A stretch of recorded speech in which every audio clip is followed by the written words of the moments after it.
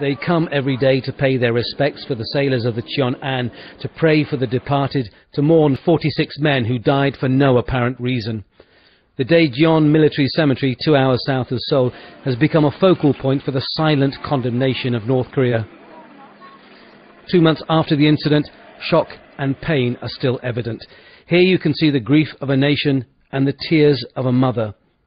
But the tears are turning to anger. How can we, people of the same blood, commit this brutal deed? The government should take a stronger stand. They should take strong retaliation against North Korea. Her son Lee Sang-sun was 20 years of age. The Cheon An was his first ship. It became his last. Kang Kum Ok recites a hymn beside the grave of her 26-year-old son Ji Yup. His two-year-old daughter sits, oblivious to the death of a father she doesn't know won't be coming back, and the crisis that is gripping her country. South Korea lost more than 600,000 servicemen during the war with the North between 1950 and 1953.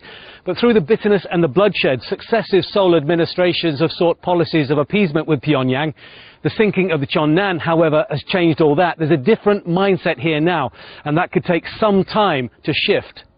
Oh, That will certainly be the case with the old, especially the veterans who have faced North Korea in battle and have been smarting from what they see as overly generous treatment of the enemy. It's sad that young soldiers died like this. When the Korean War broke out, lots of people died. It's also very sad. And it will affect the young too, who are being taught about right and wrong, about the North and South, and the price their country has paid over the last 60 years memorize their what they do for us, for our country. It is a good thing to memorize them, right? And I had to, I have been here with my children also, and it is great education for them to think about our nation. There are those who fear conflict, others who say it won't happen. Anything, though, is possible. South Korea is fighting with diplomacy, the push for sanctions, and the ending of economic assistance for its communist neighbour. That has added up to more than $6 billion over the last 10 years. Pyongyang has shot itself in the foot, and relations with the South may have been damaged beyond repair.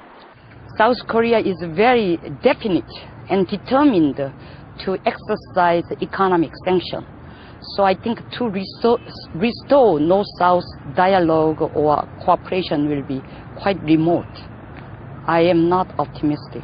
Unification seems an impossible goal today, but what of the young? When they grow up, will the sinking of the Cheon An simply be part of the history books or just another bitter reason for the division of the Korean people? Tony Birtley, Al Jazeera, Seoul.